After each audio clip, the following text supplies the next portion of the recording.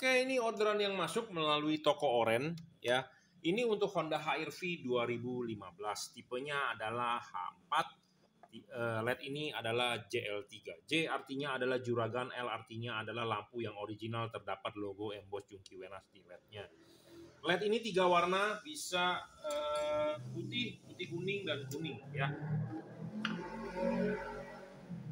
Putihnya ini adalah 6000 Kelvin, putih kuningnya ini adalah 4300 Kelvin dan kuningnya ini adalah 3000 Kelvin.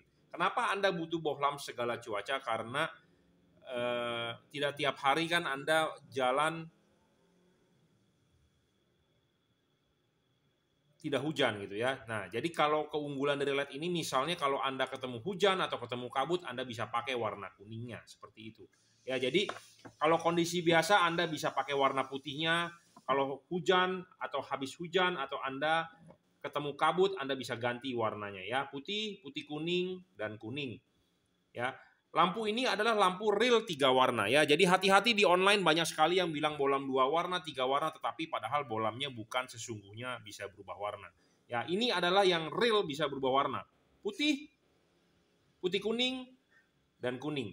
Pada saat lampu dekat warna kuning lampu jauh tetap warna putih pada saat lampu dekat warna putih lampu jauh tetap putih pada saat lampu dekat warna putih kuning, lampu jauh tetap putih. Jadi benar-benar bisa berubah warna ya. Bagaimana cara mengubah warnanya hanya dengan on off saklar lampu mobil Anda ya tanpa perlu ada tambahan alat atau kabel relay atau saklar tinggal colok soket ke soket originalnya selesai. Nah, saat ini saya mau membahas tentang pemasangan LED ini sangat PNP. Ya, saya bilang sangat PNP kenapa? Karena pemasangan sangat mudah. Ya, LED ini juga adjustable bisa jam 11, jam 11.30, 11.45 ataupun jam 12.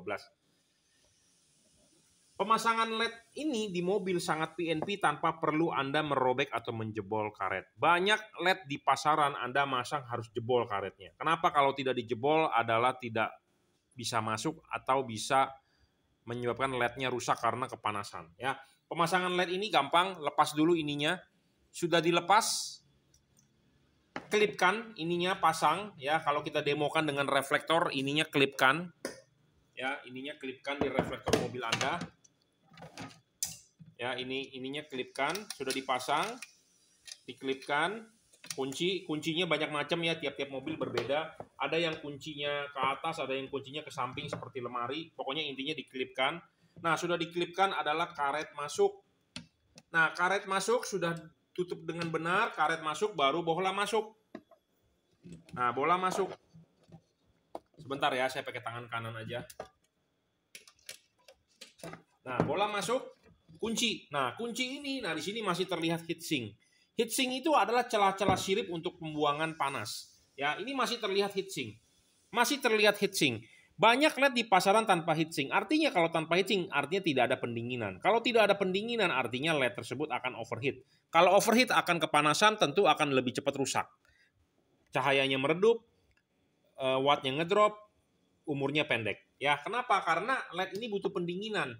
Makanya kenapa di sini ada kipas. Kipas angin berputar, angin akan meniup, dia akan keluar di celah-celah heatsink, dia kemungkinan akan sirkulasi. Nah, misalnya kalau tidak ada heatsink, artinya akan langsung terbungkus oleh karet. Jadi kipas angin mau muter sekencang apa pun, angin tidak bisa tembus.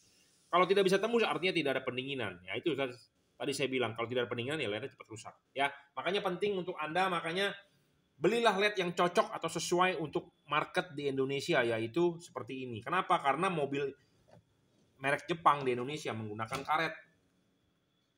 Ya, beda dengan mobil Korea. Mobil Korea tidak menggunakan karet tetapi menggunakan tutup. Nah, kalau menggunakan tutup artinya Anda tanpa perlu heatsink itu it's okay.